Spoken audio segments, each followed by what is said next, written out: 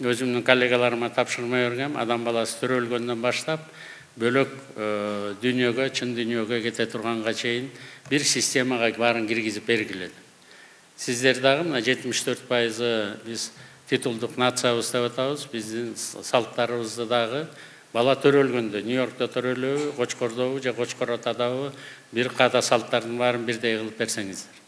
Кыргыздын тою болуп атат тушоо кесүүсү болуп атат кыз узатып атат келин алып атат дегендердин баары бир мындай бир түрдүү болсо мисалы ошол эле кавказдын элдери свадьбаны лондондон берип атса дагы алардыкы экенин түшүнөсүң да. Мына арабызда жашап аткан уйгур калкы узбек калкы баарыныкы бирдей да. Кайсы жерде болбосун нарында өткөзүп атабы же узгенде өткөзүп атабы биздики эле бүт айырмаланат да. Ар бир тамада каалагандай кылып өткөзөт. Ар бир үй бүлө өзүнүн аң сезимине деңгээлине жараша өткөзөт. Пил болсо пилди да алып кирмек жакында атты алып кирип атышат тойдун ичине жыгылып. Болгон мындай каада салттын баарын иреттеп берсеңиздер деген сиздерден өтүнүч да. Бөлөк улуттар туристтер келеби бөлөк мамлекетте жүрөбүзбү? А мына бул кыргыздын салты экен. Эркек бала төрөлсө чүкө бериш керек экен мына мындай кылып оюндардын баарын үйрөтүп коюш керек экен кыз кишиге мындай кылыш керек экен деп бир ошонун баарын иреттеп берип койсоңуздар жакшы болот эле. Коллегиясына келгенде кичине бир улуттук форманы сизден суранып келатам. Өткөндө министр азаматтан да сурандым элем. Өкмөттүн отурумдарында эдил жолдубаевич. Бул киши го англияны жакшы көрөт. Костюм фрак кийет галстук менен. Кыргызча бир мындай чапан сыяктуу бир немелерди мына элдердики кийип жүргөндөй. Ушундай бир берсеңиздер өкмөттүн отурумунда биз отуруп турайлы.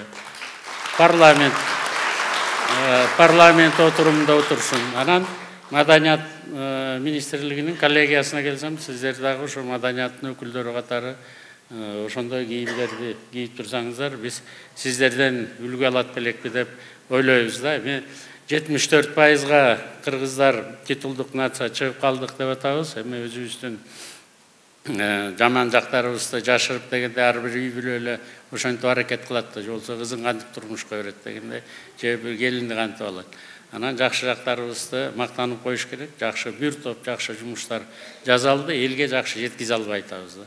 Мен калган тармактарды айтпай эле коеюн бирок ушул маданият тармагында болуп аткан жакшы иштердин баарын көрсөтүш керек. Сөзсүз түрдө проблемаларды да көрсөтүш керек. Биздин бейиште жашаган жерибиз жок да өзүбүз кудай болбогондон кийин кемчилик сөзсүз түрдө бар. Мухаммед пайгамбар деле айтыптыр мен да адаммын мен да адашамын деп. Өкмөттүн мүчөлөрү адашат өкмөттү жетектеп аткан мен адашам. Туура эмес жолго баратсак сиздер айтыңыздар мына биздин кудулдардын баары дагы айла жок ошо тумак кийип алып суук бир жерлерге барып алып анан жанагы адамдар боз ичип алып сүйлөшкөн жаргондор менен сүйлөшүп эле көп жакшы эмес жака баратышат да сатира юмор театр ордуна коюлуш керек ал астыда үлгү болуш керек. Экономикада кандай болду акыркы отуз жылдары менин жакыным болсо топозчу болсо тоок бак дедик да эми топоз бакканы менен тооктун ыкмасы эки бөлөк да тоок жанынан чыкпашың керек тоокто багып көрдүк да аны көрдүк жанынан чыкпашың керек кырылып калат өлүп калат а топозду бир айда бир жолу дүрбү салып да анан бир айда бир жолу тоокту карайм деп тооктун баарын кырдык анан күн сайын карайм деп атып топоздор да жоголду өзү да жоголду ошо эркинтип атып эле экономикасы да башаламан болуп аткан да анан сурандым алтынбек аскаровичтен ушу өзгөчө бизде таланттуу инсандарыбыз абдан көп бирок композитор жазып берсе ырын музыкасын бир атайын поэттер өзлөрүнүн эмелерин жазып берсе эл дүйнө жүзүндө кандай болсо ошондой болсо аткаруучу аткарса анан мындай кичине биз дагы табиятыбыз өйдө көтөрүлүп маданиятыбыз уккубуз келип бир дүйнөлүк элиталардын арасына кошулабызбы деп биз союздан ошону үмүттөнүп атабыз да. Эмне эле айчүрөктү коесуңар деп сиз айчүрөк жаман көрөсүзбү жакшы эле көрөм бирок бала кезимде көргөм азыр алкарып калдым кайра эле ошону көрсөтө бересиңер десем союздун убагында ошону жазып берген ошондой эле костюмубуз бар бөлөк костюмубуз жок дейт да анан жазып берген киши жок дейт кичине ыгы менен ирети менен эки үч жылдын ичинде биз ага да жеткизебиз бирок көрсөтүп берсеңиздер биздин сериалдарды көрүп жумушка кечигип келсе биздин жумушчуларыбыз анан биз ошондо көрөбүз а мына элдин баары ушу менен сериал болуп атат эртерээк кое бергиле деп менден бир жолу суранса анда мен а мына эжем иштеп аткан экен өзүм көрбөсөм дагы. Анан ошонун баарын жазаттырып беребиз урматтуу коллегалар. Биз биздин айымдарга кир жуугуч американ машиналарын коюп бергиле деп атам айылда почталар. Бир жагына. Жыйырма отуз килограмм кир эле жууп жатат да мен бала кезден бери билем апам суббота күнү эле кир жууйт да. Эртең менен кечке чейин ошо кирин барып салып коюшсун бер жака кирип өзүлөрү байпак түйүп анан чыптамаларды жасап алып азыр кийистен жасалган тапочкалар жаныбызда кытайда. үч жүз элүү миллион киши суук жеринде жашайт экен да. Анан ошолор натуралдык ушулардын баарын киебиз дейт да. Ал үчүн жана али баба дегенде чакырып келип атабыз баягы турцияга бардым тредойлдо ал жерден келишет сүрөткө тартып туруп али бабага коюп коет дагы ошол жерден почта сразу почта менен дүйнө жүзүнө жиберип ийет да. Үч доллар беш долларга кир жууп бир жума бир күнү кетиргенден көрө бир чыптаманы он чакты байпакты сатып ийсе мына үй бүлөсүнө дагы баарына дагы жакшы болот да. Биз ушул ыкмаларды дагы жакынкы арада баштайбыз почта боюнча дагы ушуга кетирдик. Жанында магазини дагы болот валюта алмаштырган жери да болот. Ушундай жаңы почталарды куруп атабыз жаңы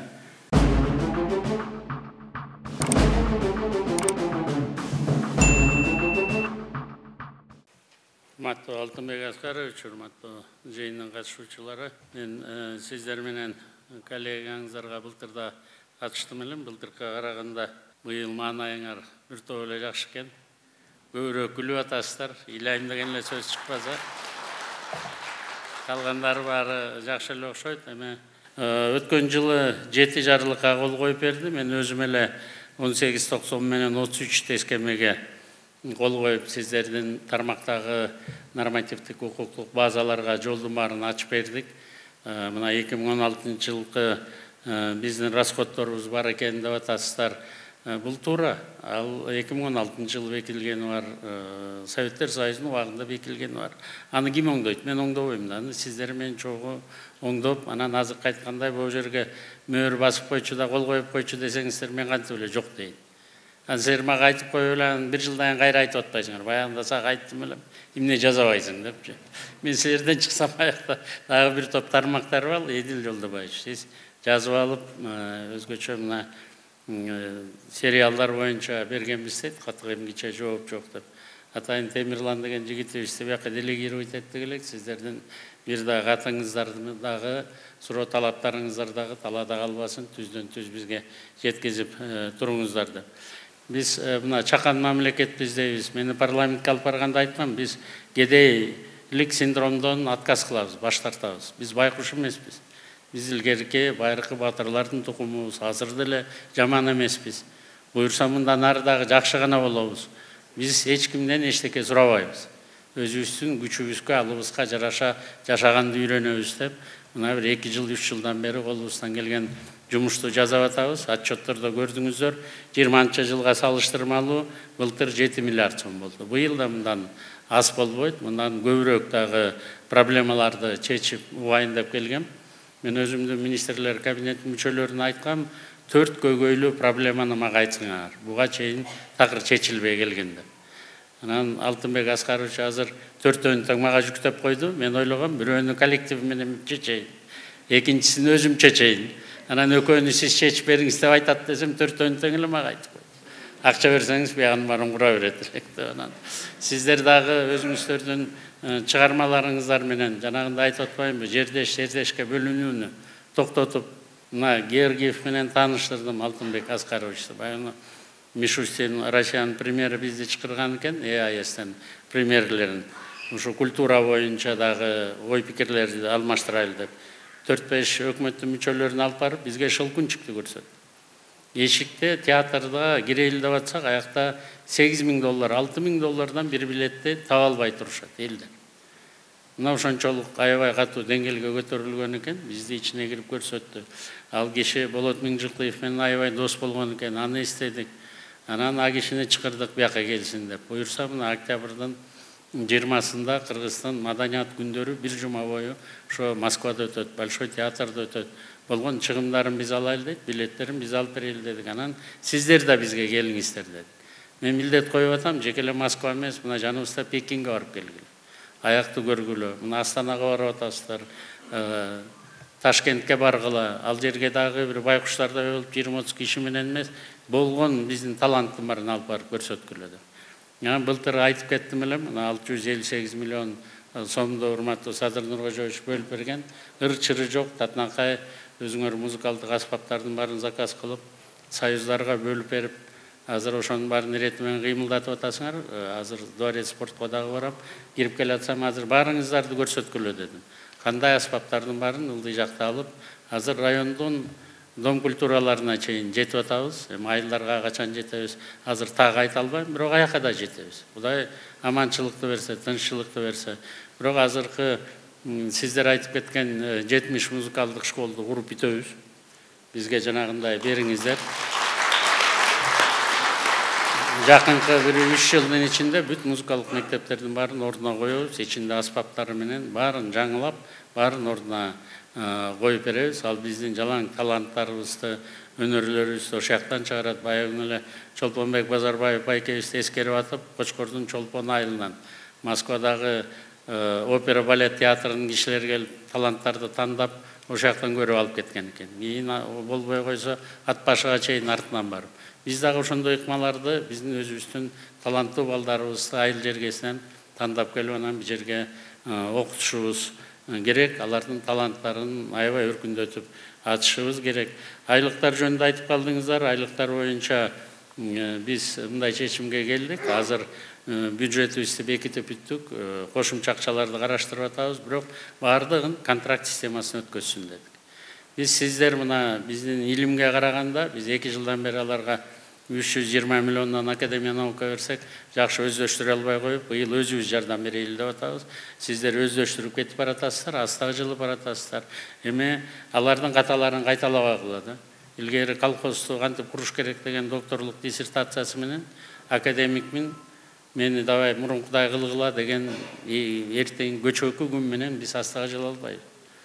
Мына сиздердей болуп мына бүгүнкү проблемаларды чечип эртеңкиге умтулуп астыга кете беришибиз керек да сиздерге биз толугу менен жардам беребиз канчалык ушул контракт боюнча керекпи жылдызы жанып турабы ага астанада коргулбай же москвада же дагы бир жерде бирөөлөрдүн экинчи үчүнчү ролдо жүрбөй бизге келип биринчи звезда болуп мына жакында опера балетке барсак биздин жигиттер кыздарыбыз кайра келип аткан экен театрга келип атса биз аларга акча төлөп берүүгө даярбыз биздин таланттуу байкелерибиз аталарыбыз чыгып дагы эле бүгүнкү күнү иштеп атса аларга даярбыз. Бирок штатка бекитип коюп анан өмүр бою ушуну акчаны аласың дегенден баш тартып атабыз да.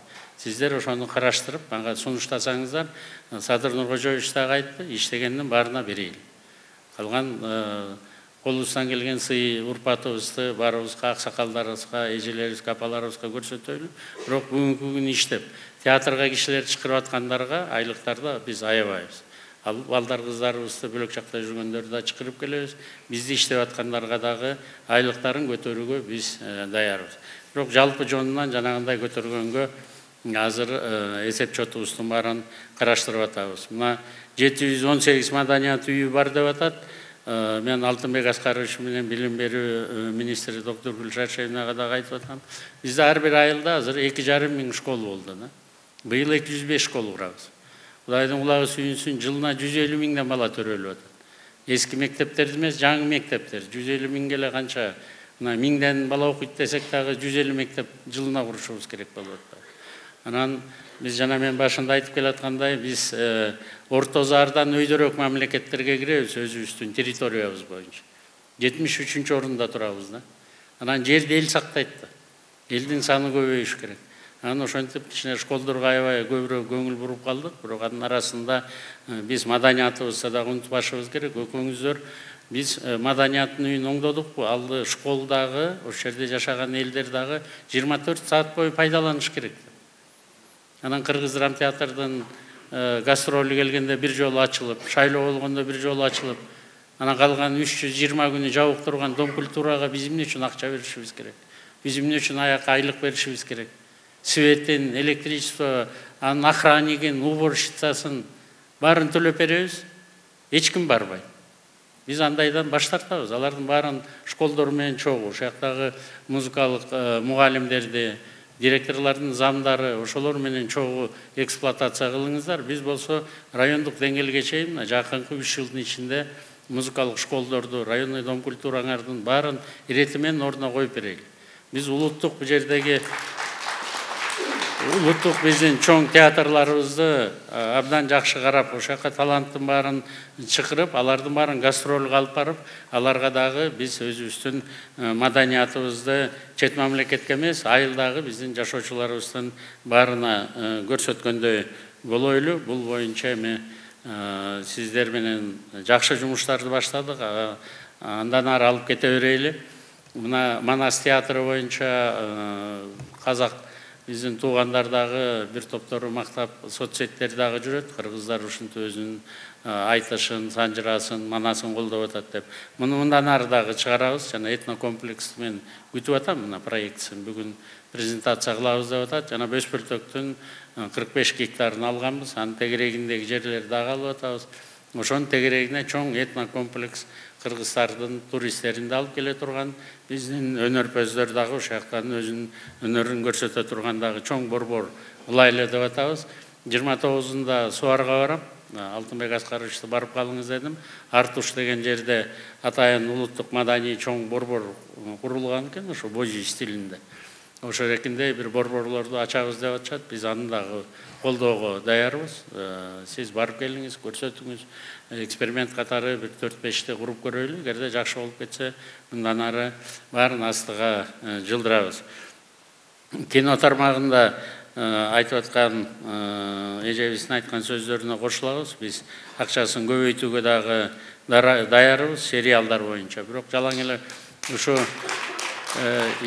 биздин айрым бир инсандардын бүлөлөрүнө карата эле мындай фильмдер көбүрөөк тартылып калып атат. Ошого да кичине көңүл буруп койсоңуздар. Алар эми биздин эсибизде бар. Биздин мына поколение баягы союздун убагындагы анан алардын туугандарыныкында бар. Жалаң калган элдер үчүн дагы мына мен былтыр сурандым элем. Турция мамлекети менен сүйлөшүп да бердим элем.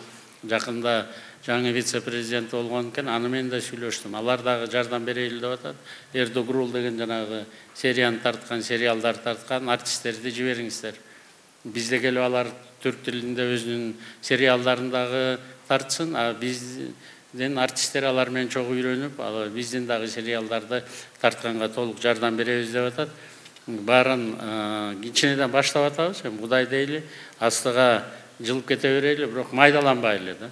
Майдаланбайлы жанагындай чоң чоң кино тасмаларды тартабыз десеңиздер биз алар боюнча дагы даярбыз. Спорт боюнча биз мындан ары дагы күчөндүрө беребиз. Биздин балдарыбыз кыздарыбыз абдан жакшы жака умтулуп баратышат.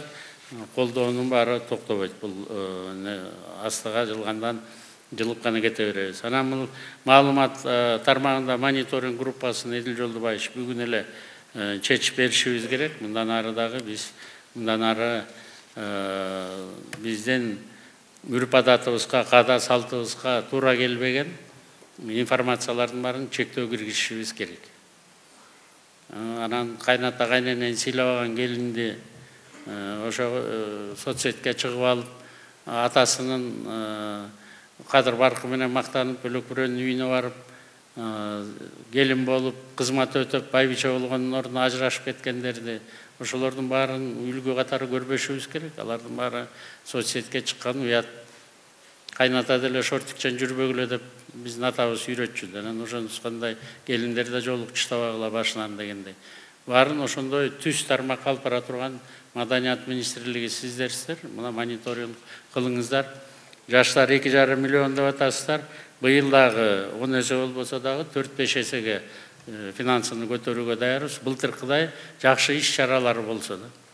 Иш чаралар болсо анан акча бөлүп берип аткан эле урматтуу коллегалар зээним кейи берет да таң көрө ушул жерде бир тендер же бирдеме кыла коюп бирдеме алам деп дагы эми камалып кетпесе экен деп элечи ошонун ирети менен жашасаңыздар құдай бұйырса таза жақсы мына иштеп келатасыздар мындан ары дагы иштеп командаңыз менен алтынбек аскаров сметаларын завышать этпей түздөн түз ушу жана пианино фортепианолорду алып атасыздар. Ошолорду түздөн түз ортомчулары жок тууган уругу жок алып турсаңыздар эле биз мындан ары дагы баарын даярдап берүүгө сиздер менен чогуу кетүүгө биз толугу менен даярбыз. Эми эмки жылдын коллегиясына келгенде кичине бир улуттук форманы сизден суранып келатам өткөндө министр азаматтан да сурандым элем. Өкмөттүн отурумдарында эдил жолдубаевич. Бул киши го англияны жакшы көрөт. Костюм фрак кийет галстук менен. Кыргызча бир мындай чапан сыяктуу бир немелерди мына элдердики кийип жүргөндөй. Ушундай бир берсеңиздер өкмөттүн отурумунда биз отуруп турайлы. Парламент парламент отурумунда отурсун анан маданият министрлигинин коллегиясына келсем сиздер дагы ошо маданияттын өкүлдөрү катары ошондой кийимдерди кийип турсаңыздар биз сиздерден үлгү алат белекпи деп ойлойбуз да. Эми жетимиш төрт пайызга кыргыздар титулдук нация чыгып калдык деп атабыз. Эми өзүбүздүн жаман жактарыбызды жашырып дегенде ар бир үй бүлө эле ошентип аракет кылат да же болбосо кызын кантип турмушка берет дегендей же бир келинди кантип алат. Анан жакшы жактарыбызды мактанып коюш керек. Бир топ жакшы жумуштар жасалды элге жакшы жеткизе албай атабыз да. Мен калган тармактарды айтпай эле коеюн бирок ушул маданият тармагында болуп аткан жакшы иштердин баарын көрсөтүш керек. Сөзсүз түрдө проблемаларды да көрсөтүш керек. Биздин бейиште жашаган жерибиз жок да өзүбүз кудай болбогондон кийин кемчилик сөзсүз түрдө бар. Мухаммед пайгамбар деле айтыптыр мен да адаммын мен да адашамын деп өкмөттүн мүчөлөрү адашат өкмөттү жетектеп аткан мен адашам туура эмес жолго баратсак сиздер айтыңыздар мына термичиков атындагы театр биринчи театрды алдык мына эртең болобу открытиясы эртең барып мен катышам ошол жерден бир куудул жакшы сатиралардын баарын коюп элдин баары аншлаг болсо штатты бербейбизби а иштеп элек жатып эле мага дагы эки нерсе көбөйт десең ошон үчүн астыга жылып баарын көрүңүздөр а то биздин куудулдардын баары дагы айла жок ошо тумак кийип алып суук бир жерлерге барып алып анан жанагы адамдар боз ичип алып сүйлөшкөн жаргондор менен сүйлөшүп эле көп жакшы эмес жака баратышат да сатира юмор театр ордуна коюлуш керек ал астыда үлгү болуш керек. Драма театрдын тегерек четин оңдоп беребиз ага акча жетпей калды дегенсиздер аяктын баарын оңдойбуз ош драма театрын быйыл бүтүрөбүз сметасын жакында алып келип беребиз деген ремонтун толугу менен быйыл бүтүрүп беребиз мындан чоң чоң суроолорду айтып калдыңыздар биз мына дагы айтылып калды кайсынысын жазып алдым? Азыр университет боюнча эгерде мурун университеттин зданиясына кирип алсаң да жаңы консерватория курайлы. Мурат байкемде менин атымды качан коесуңар? деп жүрөт. Жок дегенде жаңы здание коюп бүткөндөн кийин анан коюп берели анан бирок аны куруш керек да мурат байке самый хороший бир жакшынакай жаңы бир консерватория курайлы. Баягы эки министр талашып атканда айткам кимиң бири бириңе ынтымакташып чечкиле ким калып калса ага андай жаңы здание куруп берели. Деп анан билим берүү министрлиги мурунку зданиямда кала берели дейт анда проектисин эдил жолдубаевич өзүңүз чогуу киргизгиле жерин проектисин быйыл баштайбыз курулушун консерваториянын быйыл баарын бүтүрөлү ал боюнча сиздерге жардам беребиз эми ош драма театрын бүтүрөлү андан кийин концерттик залга киришебиз баарын эле бир жылда бүтүрүп коюу болбойт жаштар борбору боюнча проектилериңизди бериңиздер үй куруу боюнча ушу айдын ичинде сиздерге айтабыз биз капложениядагы акчабыздын баарын иреттеп алайлы анан гид боюнча болбой атса анда силер айткандай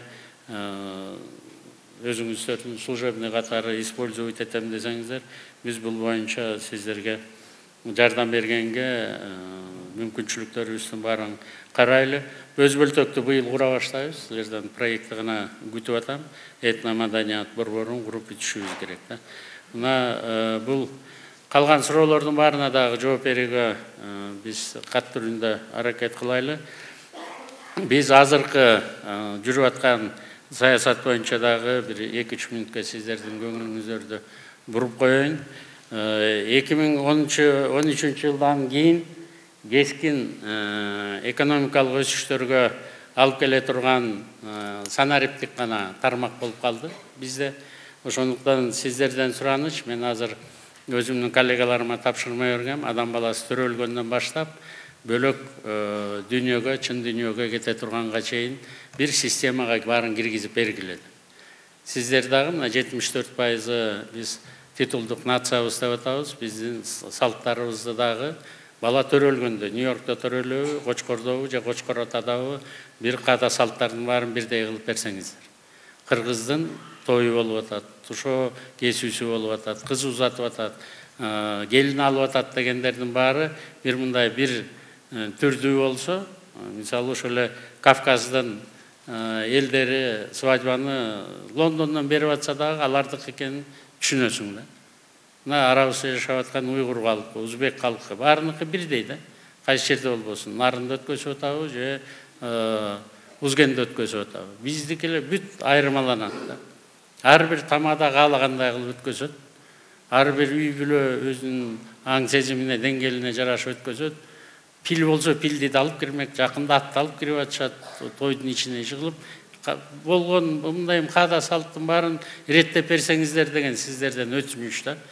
Бөлөк улуттар туристтер келеби бөлөк мамлекетте жүрөбүзбү а мына бул кыргыздын салты экен эркек бала төрөлсө чүкө бериш керек экен мына мындай кылып бул оюндардын баарын үйрөтүп коюш керек экен кыз кишиге мындай кылыш керек экен деп бир ошонун баарын иреттеп берип койсоңуздар жакшы болот эле былтыр дагы аягына чыкпай калган жумуштардын бири каныбек байкени көрүп атам эдил жолдобаев каныбек байкенин зал тяжело атлетикасын былтыр бүтүргөн жокпуз менден да кетти сизден да кетти быйыл дагы мага проектисин бергиле бүтүрөбүз сиздики анан ушу санариптик чечимдери боюнча дагы айтып атам абдан биз алдыга жылып атабыз. Биз көмүскө экономиканы ушу фискалдык саясаттарды туура жүргүзүп санариптик ыкманын баарын колдонгон үчүн биз жакшынакай жыйынтыктарга келип атабыз да.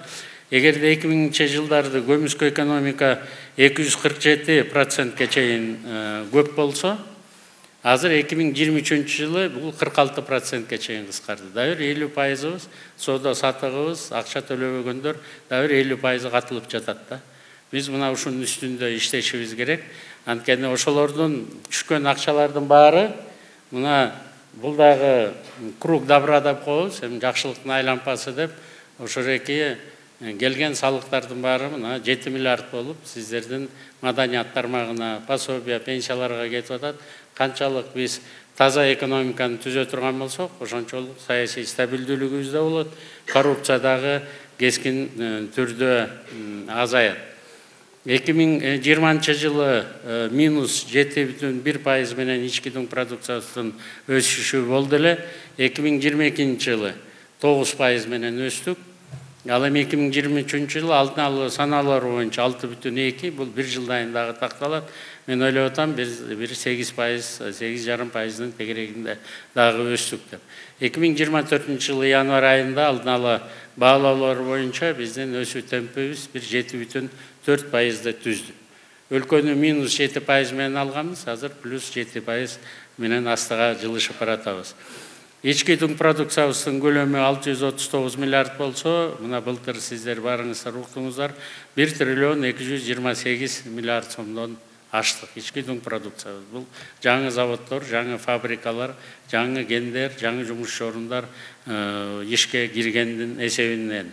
Мына он жылда эки миң жыйырма ондон эки миң жыйырманчы жылга чейин ички продукциябыз төрт жүз жыйырма миллиардка өссө үч жылда эки миң жыйырманчы жылдан бери биз беш жүз сексен тогуз миллиард сомго көбөйдү то есть үч жылда биз мурунку он жылга караганда андан бир жарым эсе көп.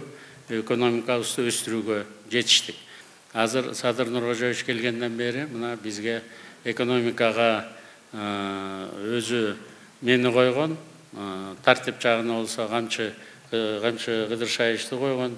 Былтыр ормонхандын эки жүз отуз жылдыгын өткөзүп атканда занедин деген аксакал бар. Мен ишеничтүү кишим эле эки миң бешинчи жылы.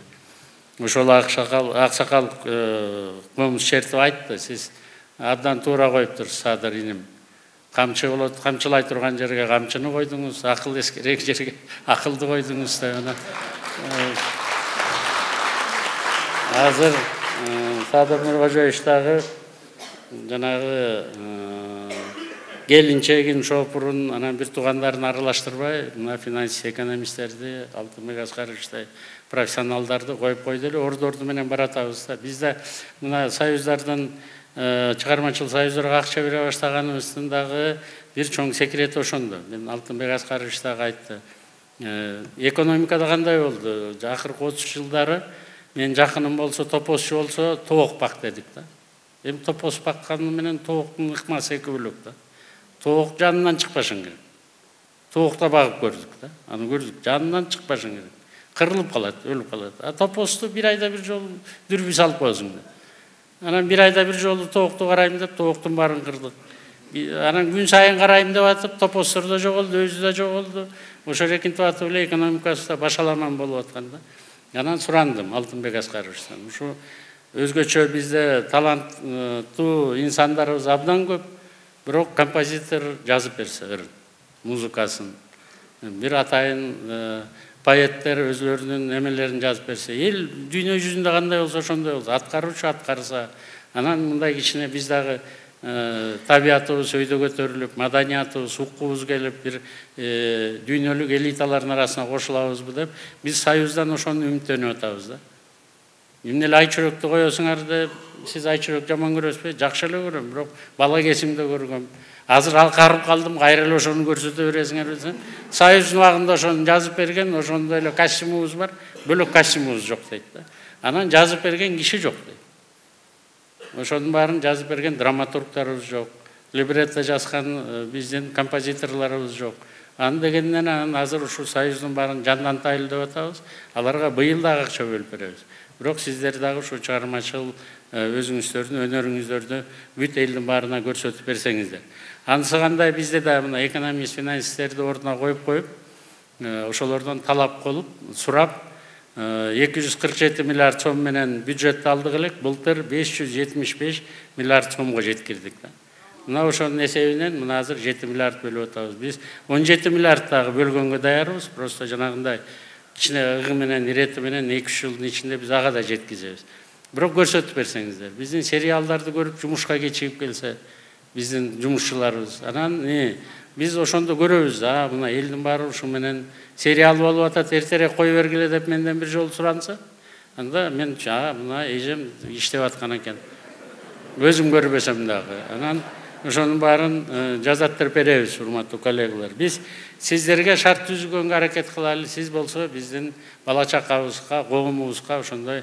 жакшынакай шарттарды түзүп берип турсаңыздар жолдо дорожная картада эмнеге биз айтып коебуз экономисттер да саясатчылар дагы анткени жол эки тараптуу болуш керек да биз кыймылдасак сиздер да биз жака кыймылдап анан орто жолдон биздин элибиз биздин кыймыл аракетибизден жакшылык нерселердин баарын көрсө эми биз жыл сайын эле планыбызды мына былтыр жети миллиард кылдык эмдиги жылы жети миллиард же сегиз миллиард беребиз деп былтыркыга карап быйылкы пландарыбызды коебуз. Биз мындан баш тартып атабыз. Анткени жана үч жүз доллар ар бир киши башына он жылда он бир он экиге жакын өкмөт иштеп таап берсе биз анда беш жылда беш жүз доллар табайлы дегенди биз эки жылда бүтүрүп койдук да. Азыркы иштөө принциптер өзгөрдү. Садыр нуркожоевич менен илгери билесиздер. Премьер менен президент жолукту деп айына бир жолу телевизордон. Биз азыр күнүнө он жолу жыйырма жолу биз постоянно эле ал киши айпадта отурат. Мен телефондо такай ушу проблема болот ошол жерден чечип мунун баары астыга абдан ылдамдык менен жылып атат. Биз прогноздорду азыр мына мен элүүнчү жылга чейин өзүбүздүн министрлер кабинетине коюп атам жаңы улуттук стратегиябызды иштеп чыгып атабыз сиздер көрүп аткандай мына мен студенттерге дагы такай боорукки кризис деген сөздү жаныбызда кытай мамлекети турат урматтуу коллегалар.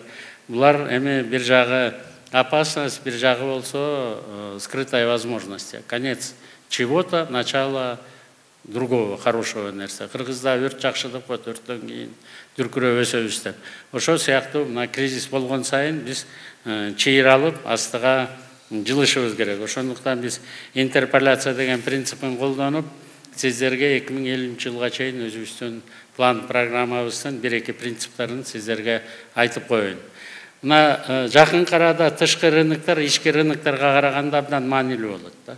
Анткени биз экспортко чыгышыбыз керек. Инвестицияларды көп алып келишибиз керек. Анан мына биздин элибиздин саны өтө эле аз. Биз жетимиш үчүнчү орун дүйнө жүзү боюнча өзүбүздүн жерибиз тен көлөмү боюнча да байлыгы боюнча айтпай эле коеюн биз өзү суу мунарабызбыз борбордук азияда азыр мына кызыл омпол деген жерди биз өздөштүргөн атабыз ал жерде үч жүз миллиарддан төрт жүз миллиард долларга чейин сейрек кездешүү металлдар бар экен да. Мына титаномагнетит деген жыйырма миллион тонна бар экен мына ошол эркинде абдан чоң биздин байлыктарыбыз бар. Эми ошол жерге жашоо шарттарын биз сөзсүз түрдө түзүп беришибиз керек. Биз жакшы өсө албай атканыбыздын себеби дагы бир миллионго жакын төрөй турган уул кыздарыбыз иштей турган балдарыбыздын баары сыртка чыгып кетип калды да. Мына бизге прогноздорду берип атышат. Кыргызстан эки миң элүүнчү жылы борбордук азияда жыйырма миллиард доллар ички дуң продукциясы менен эң артта калган өлкөлөрдүн бири болот. Биз буга макул эмеспиз. Акыркы эки жылдагы темп өсүүлөрдү өзүңүздөр көрүп атасыздар. Биз эки миң элүүнчү жылы эки жүз миллиард доллар болот деп эл аралык валюталык фонд бүткүл дүйнөлүк банк абрлердин специалисттерине айтылып эми ошо эгерде биз жыйырма миллиард болбой эмки мурунку эле слайдты койсоңор. Анда биздин өсүү темптерибиз таптакыр өзгөрөт да. Бюджеттерибиз да өзгөрөт өсүү темпи да өзгөрөт баары тең өзгөрүш керек. Биз элге койгон талабыбыз да өзгөрүш керек. Биздин балдарыбыздын илими да билими дагы ден соолугу дагы абдан жакшы мыкты болуш керек. Биз ошондо гана конкуренттүү болуп астага жылып кете алабыз биздин балдар ошондо гана сыртка чыкпайт да. Мына ушуларды турмушка ашыра турган бизде эки чоң ресурсубуз бар.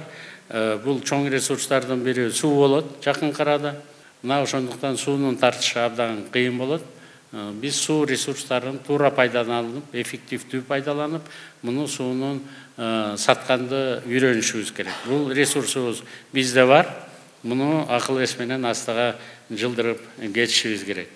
Эми азык түлүккө болгон мына суроо талаптар дагы кескин түрдө күчөйт. Азык түлүктөр боюнча дагы биз тамчылатуу сууга анан кластерлик принциптерге өтүшүбүз керек да мына бакыт азыр айыл чарба министри кылып дайындап атканда да айттым.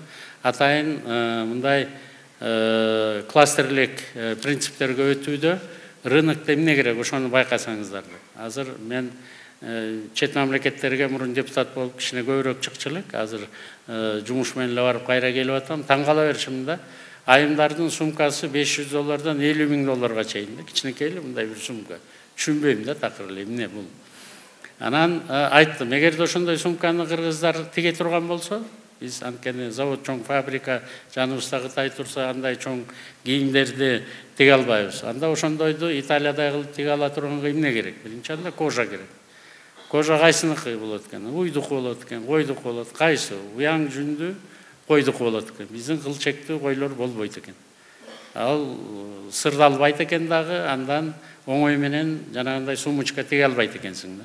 Ал аборигенди илгерки боюнча калып калган катуу аябай андан баягы калкан жасаса болот экен ок өтпөгөн бирок сумочка болбойт анда уяңгонду жулго койго өтүшүбүз керек анан жакшынакай уйларга өтүшүбүз керек. А уйду багыш үчүн эмне керек? Кайра чөп керек. Чөптү багыш үчүн эмне керек? Суу керек. Анан ушинтип баарын бир цепочка кылып алып бирок аягында эмне кылабыз аягында жана сумочканы сатабыз да анан аягында баарыбыз чеснок айда десе көлдүк менен арындыктын баары чеснок айдап алып бир жылы толугу менен баарыбыз айдайбыз да баарыбыз күйөбүз мына ошондой кылбай бир принцип менен иштеп кете беришибиз керек. Сиздер дагы мен ойлоп атам маданиятты ушундай принципти толук колдонушуңуздар керек да мектеп өзүнчө культура өзүнчө министрлик ары бери жылып биздин айыл өкмөттөр акимдер өзүнчө жылбай баарыбыз биригип алып биз адамды эң баалуу ресурс адам дегенден кийин ушу адамдын тегерегинде топтолуп астыга акырын алып кете беришибиз керек. Мына ушунун тегерегинде биз астыга жылайлы. Мына жаңы экономикалык чакырыктарды мен башында сиздерге айттым. Аба ырайы кескин түрдө өзгөргөндүктөн бир жарым миллиард киши мына бул кызыл болуп турган жерлерде засухалар аябай көбөйөт экен ошол жактан элдердин баары бир жарым миллиард. Азыр элдин баары жакшы жашоону каалап кетип атса азыр айла жогунан. Бир жарым миллиард жыла баштайт. Ошондуктан чек арабызды бүтүрүшүбүз керек.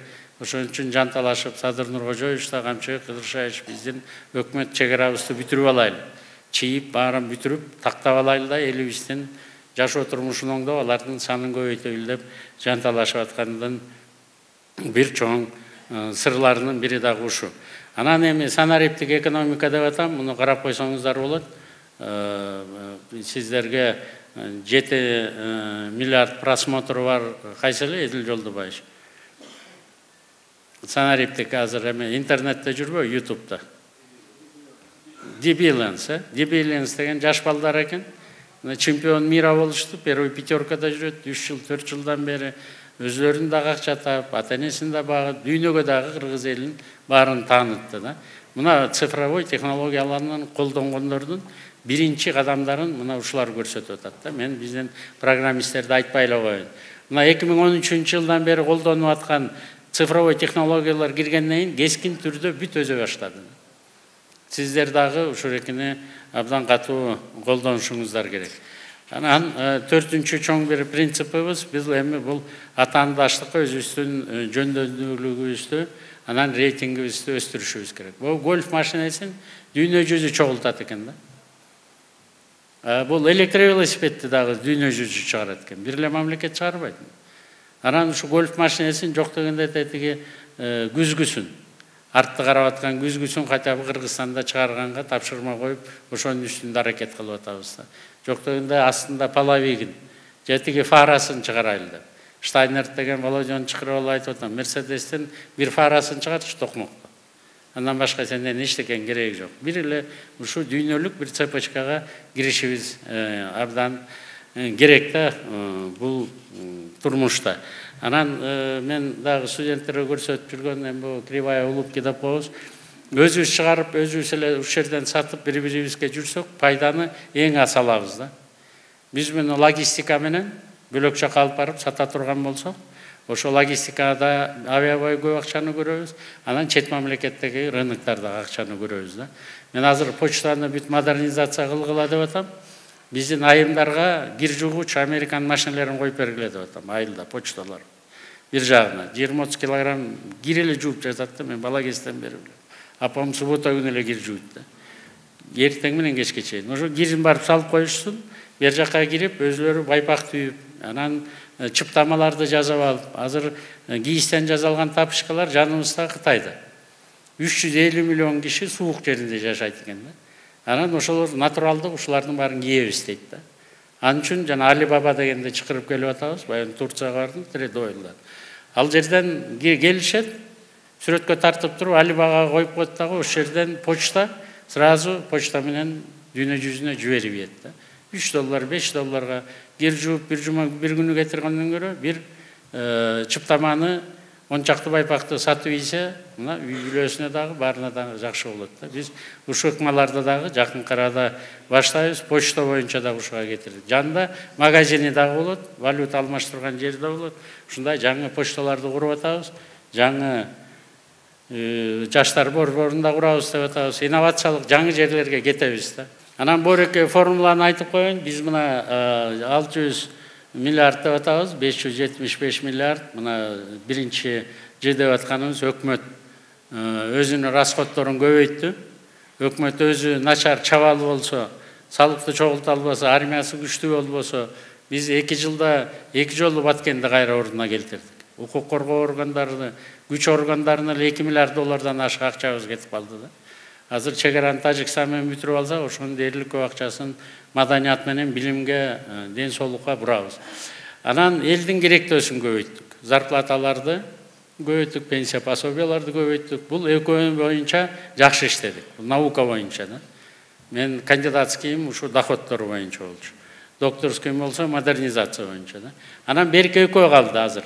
мына миң отузунчу жылга жыйырма миллиард ички дүң продукциябызды чыгарыш үчүн бизге азыр түз инвестициялар керек анан чистый экспорт керек да экспорт мына боореке эки составляющийга абдан катуу биз көңүл бурабыз да жана болуп биздин короткометражный фильмдер бөлөк жерлердин баарынан аншлаг чогултуп алып келе турган болсо калган дагы сиздин өнөрлөрүңүздөр дүйнө тараса биз колубуздан келген жардамыбыздын баарын беребиз. Көз көрүп эле турат. Убакыт керек ана тышкары ден соолук керек болуп атат. Баарыбызга сиздер менен чогуу ынтымак керек болуп атат да. Мына майдын жыйырма сегизинде женевада биз камбар ата бир боюнча презентация жасайбыз.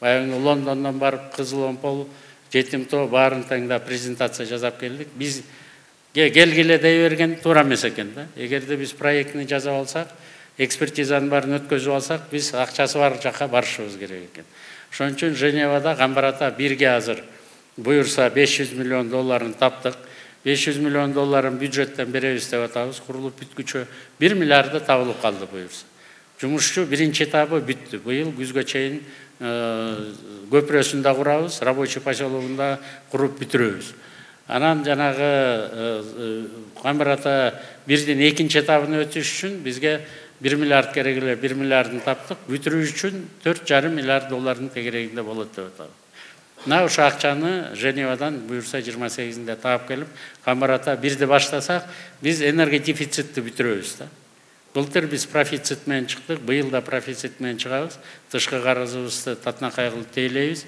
мен депутат болуп жүргөнгө нарынга барсам силер ат башыны нарын областын берип анан кутулат экенсиңер кытайдын карызынан деп аксакалдар мени абдан жаман түйшөккө салып жүрүштү эле азыр андай коркунучтун бирөө жок биз астыга жылып кете беребиз. Биздин багыбызга эң чоң карыздар келип калды ушу эки миң жыйырма беш эки миң отузунчу жылдары мына ушул карыздын баарын биз эми төлөгөнгө экономиканы баарын ордуна келтирип бүттүк кытай кыргызстан темир жолу башталганда ал жети жарым миллиард кытай кыргызстан темир жолунда бир он миң жыйырма миң киши иштейт. Биздин бюджетибиз өзү сегиз миллиард доллар болуп калды мурун бир миллиард эки миллиард доллардын тегерегинде болсо биз темир жол сегиз миллиардты курабыз десек элдин баары жылдыңдачы азыр болсо сегиз миллиард болуп калды быйыл он миллиардка чыгарабыз деп доллар менен анда бул проектни өзүлөрү куруп кетет экен деп ушу эки эң чоң проектини биз астыга жылдырабыз ал эми азыр мына самый модный болуп атат айфондорду көтөрүп жүрүшөт айфондун сырты титан мен баягы айттым элем чыгармачылыктар дагы көрсөтүп атышат мына ошо титан анан биздин байрактар ак сүңгүр ошондой биз учкучтарды дагы алып келдик. Алар дагы мен бардым түрк туугандар ыйлап атат. Биз титанды америкадан европадан алабыз. Алар бизге бербей атышат бул технологияны. Эгерде кызыл омполдогуну жанагыны иштетип кете турган болсок биз дүйнөлүк чоң бир цепочкага кошулгандай бүт шарттарыбыздын баары түзүлдү. Бул google apple жана microsoft сыяктуу эң чоң компанияларга биз сейрек кездешүү металлдарды изилдеп бүтүп калдык. Бул бизде кызыл омполдо эле эмес баткенде дагы бар экен ошто дагы бар экен литий дагы бар экен. Биз ошолордун баарын изилдөөгө бир миллиард сом бөлүп берип азыр өзүбүздүн байлыктарыбызды мындан ары көбөйтүп атабыз.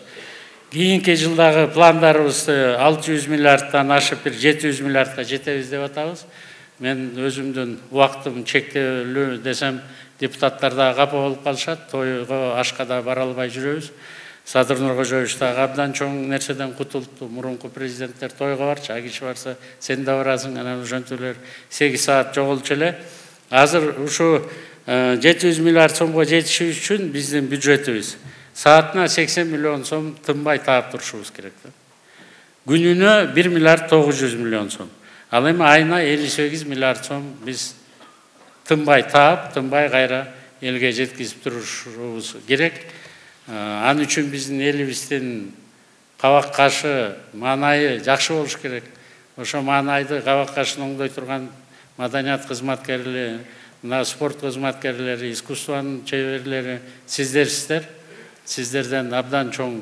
нерселерди биз үмүт кылып атабыз былтыр айттым элем ренессансты күтүп атам деп бир үч жылдын ичинде ошондой жакшынакай жетишкендиктерге жетесиздер деп президент дагы мен дагы терең ишенем кичине кыйынчылыктар болот дагы бир жолу айтайын эми биз идеалдуу түрдө баарын эле башкарып эң эле таза эң эле жакшы биз биз дегенден алыспыз жумуш иштеген жерде сөзсүз түрдө кемчиликтер болот кээде көрүлбөй калат кээде көңүл бурулбай калат ошон үчүн мына министрликтериңиздер бар министрге айтып турсаңыздар министр менен мен жума сайын эки же үч жолу жолугуп турам бул киши менен түз байланышта болобуз калган мына өзүбүздүн эле администрациядан чыккан көп жылдан бери чогуу иштешип жүргөн кишилер менен жакшылык жамандыкта чогулуп калып жүрөбүз алар менен дагы бизге өзүңүздөрдүн талаптарыңыздарды жеткизип турсаңыздар биз дагы чечкенге аракет кылайлы баарыбызыңыздарга бизге рахмат деп атабыздар биз болсо президенттин атынан министрлер кабинетинин атынан сиздерге да ыраазычылыкты билдирип атабыз чыдап чыдап келдиңиздер эми кичине кичине свет в конце туннеля виден дегендей аракет кылайлы сиздер өзүңүздөрдүн жумуштарыңыздарды майын чыгара дитиңерди коюп жакшылап иштеп берсеңиздер калганын биз колубуздан келген аракет жардамыбызды жасап турайлы баарыңыздар бар болуңуздар үй бүлөңүздөрдө аманчылык болсун жакшылык